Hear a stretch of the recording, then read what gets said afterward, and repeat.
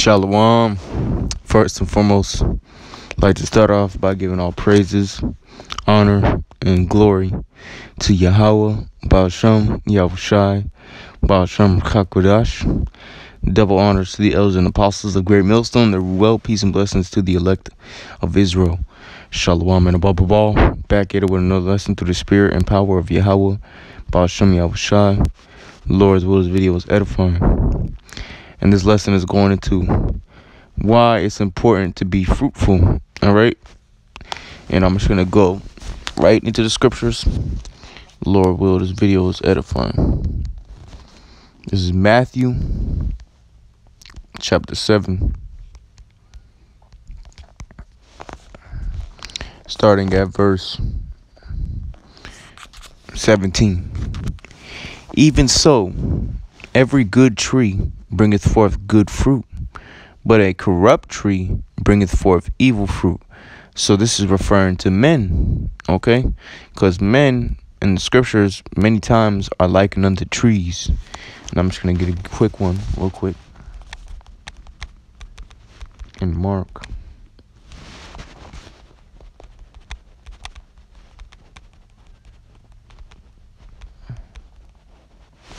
Mark 8 and 24, and he looked up and said, I see men as trees walking. You know, so men are likened unto trees in the scriptures many times, you know, in a good sense and in a bad sense. Okay, like scripture says, seen the wicked as a green bay tree spreading themselves. All right. Um, also, scripture talk about how all the trees of the garden envied Adam. All right, meaning how those other nations they envied uh, the sons of God. Okay, back then because Adam stood out, or the sons of God, if you will, stood out amongst those other nations, just like how Jake stands out today, even among the other nations. Okay, even if they take on the appearance of you know an Israelite foreigner, if you will. Okay, nonetheless, men are likened unto trees. All right, so Matthew 7 and 17, even so every good tree bringeth forth good fruit, but a corrupt tree bringeth forth evil fruit. Yeah, so if you're a corrupt man or a woman, you're going to bring forth evil fruit. Okay, if you're a good man or a woman, are you going to bring forth good fruit? Okay, and ultimately, what makes someone good? You know, following the ways of Yahweh that's what makes someone good. Okay? Because here it is, you know, an average person might think okay, he's giving a homeless person some food, he's giving a homeless person something to drink and some clothes because it's cold outside. Cool. The average person might think that's good, you know, that's a good deed. But if that homeless person, that individual is wicked, all right, then that's not good. That's actually a bad deed. All right. And how would you know that other than by following the ways of Yahweh Shai? You know, verse 18. It says, A good tree cannot bring forth evil fruit neither can a corrupt tree bring forth good fruit right? Because ultimately they've both been created. One vessel is unto honor one is unto dishonor. Like it says can the ethiopian change his skin or the leopard his spots? Matter of fact let me read. Let me read it. Let me read it. Jeremiah 13 and 23 can the ethiopian change his skin or the leopard his spots then may ye also do good that are accustomed to do evil. Right. So two thirds of our people are accustomed to do evil. No matter how hard they try, they're just blinded. Okay, no matter how hard two thirds try, they're still blinded, and they're not going to be able to fully come into the into the knowledge and its perfection. All right, but the elect, okay, the elect are going to be the ones that bring forth the good fruit. Okay, is um Verse 18, I read it again. A good tree cannot bring forth evil fruit, neither can a corrupt tree bring forth good fruit. Every tree that bringeth not forth good fruit is hewn down and cast into the fire. So the Lord is getting ready to cut off the wicked of our people, man. All right? And cast them into the fire. Okay? You know? Oh, here's another scripture likening Israel into a tree. It says, Jeremiah 2 and 21. Yet I had planted thee as a noble vine, a holy right seed. Okay? How then art thou turned into the into a degenerate plant of a strange vine unto me?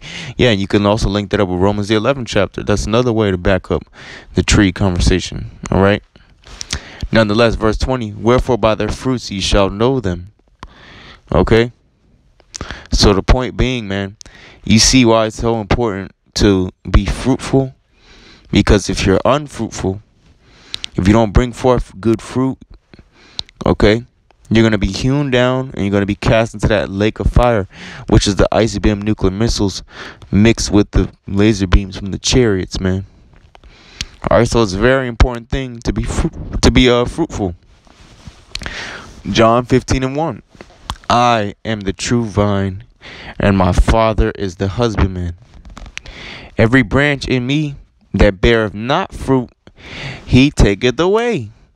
And every branch that beareth fruit, he purged it that it may bring forth more fruit. Right. So ultimately, the ones who are in this faith who don't bear fruit, who are being slothful. You know, they know they're Israelites, but they're just, you know what I'm saying? They're not doing what the Lord requires them to do. They're not bringing forth the righteous fruits, meet for repentance. The Heavenly Father is going to cut them off, man. And ultimately, that leads to their destruction because if they're not attached to that true vine, which is Yahweh and the Heavenly Father is not being the husbandman towards them, guess what? They're going to wither away, man, because they bring forth no fruit, man. All right? Matter of fact, let me get this real quick.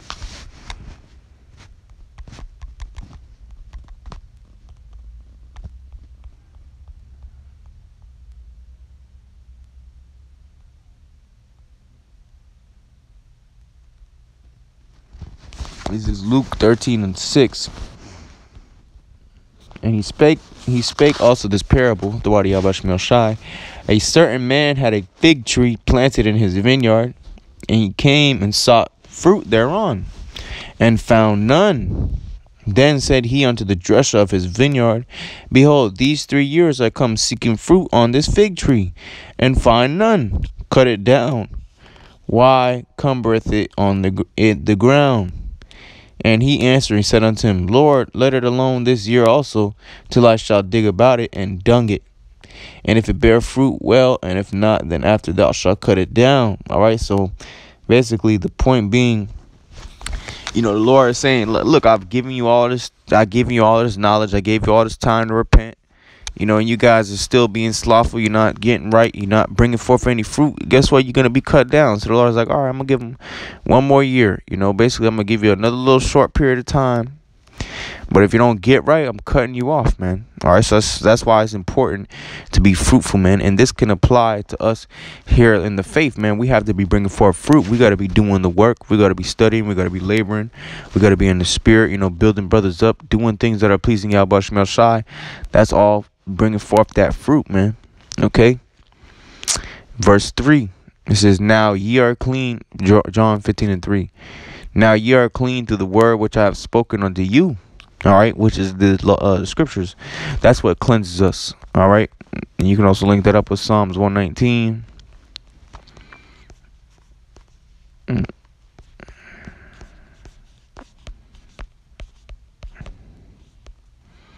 And verse 9 Wherewithal shall a young man cleanse his way?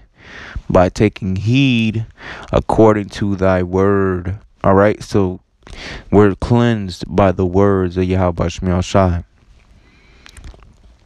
All right, John 15 and 4.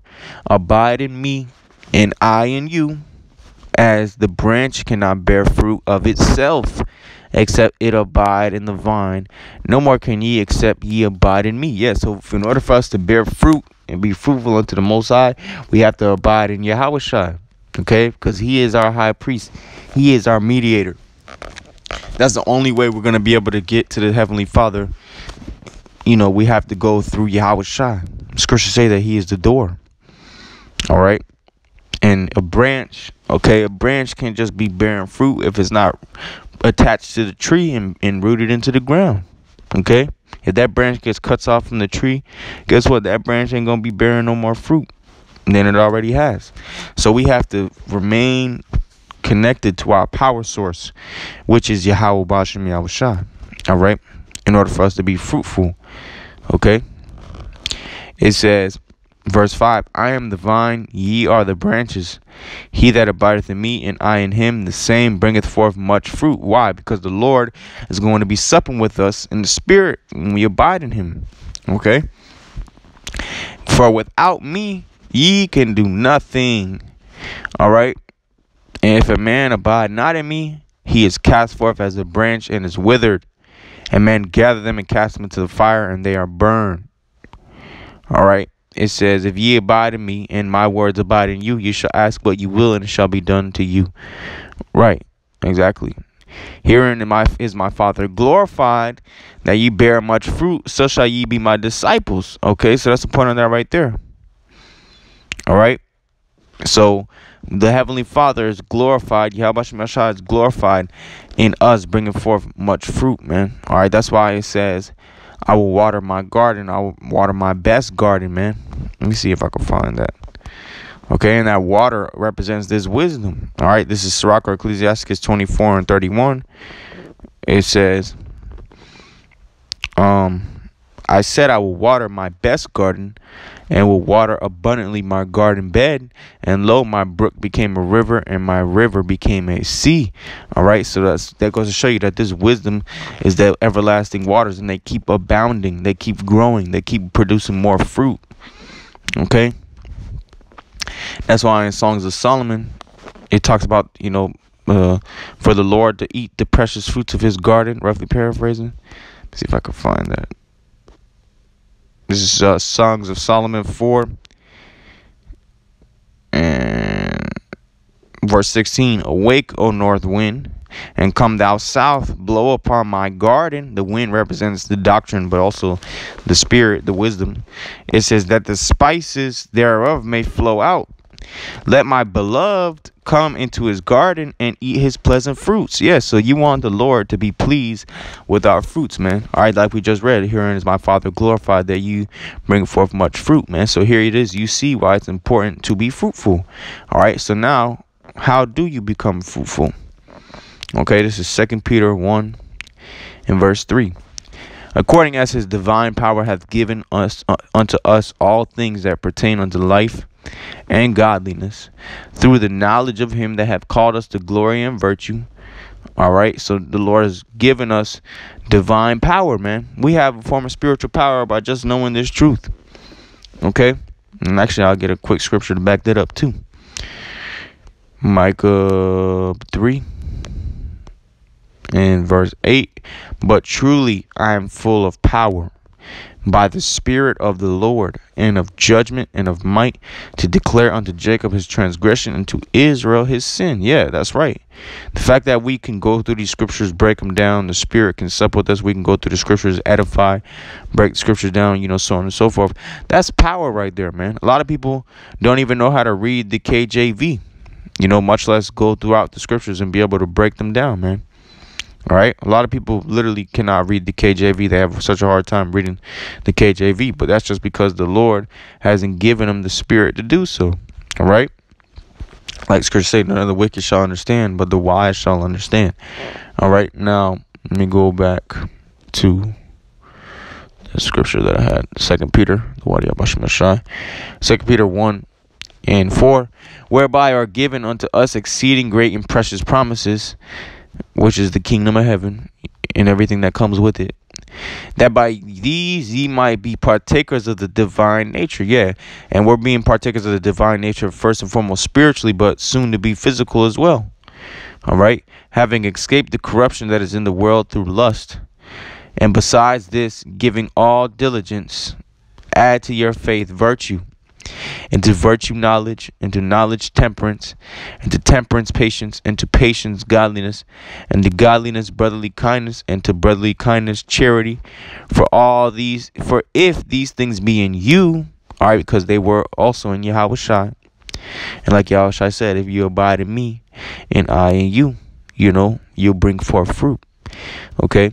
So it says, For if these things be in you and abound, they make you that ye shall be neither barren nor unfruitful in the knowledge of our Lord Yahweh Mashiach. So you see how important it is why these quite why these traits are very important because it, it's gonna bring forth fruit within us, man. Okay. Along with the chastisement. All right, because when you go to the book of Hebrews,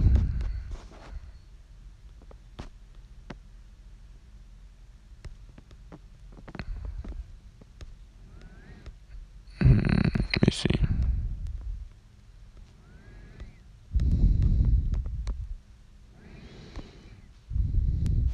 He was five. Let me start at verse um.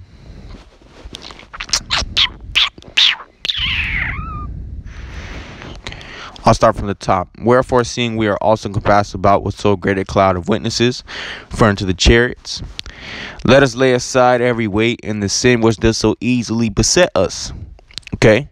And let us run with patience the race that is set before us. And we just read earlier how patience is a part of those traits that bring forth fruit, man. All right? Looking unto the uh, to the author and finisher of our faith, who for the joy that was set before him endured the cross despising the shame, and is set down at the right hand of the throne of the Most High. For consider him that endured such contradiction of sinners against himself, lest he be wearied and faint in your minds. Yeah, so if you're feeling weak, weary, and faint in your minds, you know, to run this race, think about Yahweh and what he went through and use that as motivation. Okay. Verse 4 ye have not yet resisted unto blood, striving against sin. Yeah, pre- pretty much, you know, yeah, we're being chastised, but the Lord ain't kill you, you know. Like it says in Psalms, you know, the Lord hath chastened me sore, but I am not dead. You know, roughly paraphrasing. All right. Verse 5. And ye have forgotten the exhortation which speaketh unto you as unto children. My son, despise not thou the chastening of the Lord, nor faint when thou art rebuked of him. For whom the Lord loveth, he chasteneth, and scourgeth every son whom he receiveth. Like Scripture say, the Father purgeth it that it may bring forth more fruit. Okay.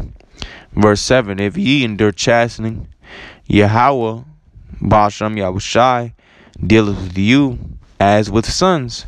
For what son is he whom the Father chasteneth not? Yahushai was chastened too. You know, so if a was chastened, we have to be chastened. Like it says, in order to glor- in order to be glorified with him, we must suffer with him. Okay. It says, For if ye endure chastening, the Most High dealeth with you as with sons, for what son is he whom the Father chasteneth not? But if ye be without chastisement, whereof all are partakers, referring to all the elect, which ultimately all Israel, if you think about it, but nonetheless, the elect first and foremost. Then are ye bastards and not sons. All right, in the scripture, when you look at it spiritual scripture say a bastard shall not enter into the congregation of the Lord, man. All right, so a bastard ultimately is that unfruitful tree, you know, spiritually. Okay, verse 9. Furthermore, we have had fathers of our flesh which corrected us, and we gave them reverence. Shall we not much rather be in subjection unto the Father of spirits and live? You know, and a part of us being in subjection to the Father of spirits is being subject to his Son. Okay? Because the scriptures say in, in John 5, let's get it. John 5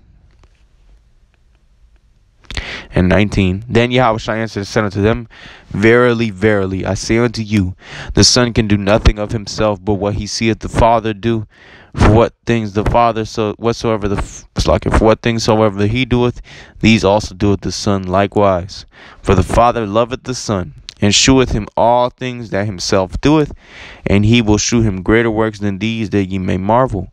For as the Father raises up the dead and quickeneth them, even so the Son, even so the Son quickeneth whom he will. For the Father judgeth no man, but have committed all judgment unto the Son, that all men should honor the Son, even as they honor the Father. He that honoreth not the Son honoreth not the Father which hath sent him. Okay, so that's the point on that right there. All right, that is the point on that right there. So you have to honor the Son like how you honor the Father. All right. Now let's go back to Hebrews.